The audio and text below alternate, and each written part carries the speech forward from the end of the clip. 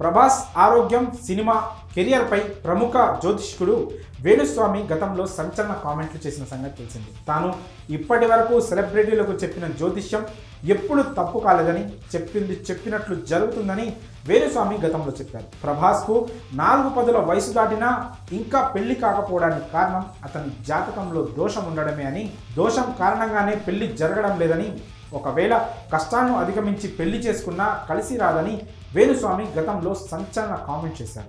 Salaar cinema విడుదల సమయంలోనూ ప్రభాస్ పై comment చేశారు. ప్రభాస్కు ఆరోగ్యం బాగోలేదని అన్నారు. సలార్ మూవీ ఫ్లాప్ అవుతుందని తేల్చేశారు. అయితే ఆయన కామెంట్స్కి భిన్నంగా సలార్ రిజల్ట్ రావడంతో ప్రభాస్ ఫ్యాన్స్ ఆయనను ట్రోల్ చేయడం ప్రారంభించారు. ఇక ప్రభాస్ పెళ్ళి ఆరోగ్యంపై వేణుస్వామి చేసిన వ్యాఖ్యలపై తాజాగా కృష్ణంరాజు భార్య శ్యామలాదేవి స్పందించారు. ఓ ఇంటర్వ్యూలో ఆమె ఈ వ్యాఖ్యలు చేశారు. సోషల్ మీడియాలో కింద రాసేది ఒకటి చూపించేది మరొకటి అని దానివల్ల వాళ్ళకు ఉపయోగం ఉంటుందో లేదో కూడా తనకు తెలియదని. కానీ ఎవరైనా సంతోషంగా ఉంటే తమకు కూడా సంతోషంగా ఉంటుందని అన్నారు. అయితే కొన్ని కొన్ని మరి ఇబ్బందికరంగా ఉంటాయని అన్నారు. ఎవరేమనుకున్నా కూడా వాళ్ళకు కూడా మా ఫ్యామిలీ గురించి తెలుసు. వాళ్ళందరూ రెస్పెక్ట్గానే ఉంటారు. రెస్పెక్ట్ ఇస్తారు.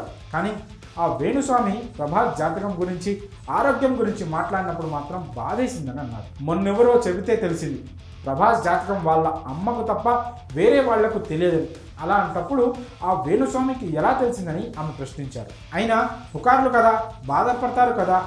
మేడం మీరే అడగండి అని కొందరు అంటారు. కానీ నేనెందుకు అడగడమని ఊరుకుంటా అని పుకార్లని చెప్తున్నప్పుడు ఏం కాదు. ఊరుకోండి అంటారని ఆమె అన్నారు. మీరెవరూ పట్టించుకోకండి కూడా అంటారని మీరెవరిని ఏమి అనే అలవాటు తమ కుటుంబానికి లేదని కృష్ణంరాజు గారు అజాత శత్రువు అని అన్నారు.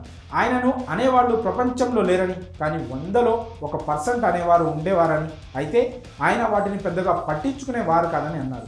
మరి శ్యామలాదేవి వేణుస్వామిపై స్పందించిన తీరుపై మీ అభిప్రాయాన్ని కామెంట్స్ రూపంలో తెలియజేయండి.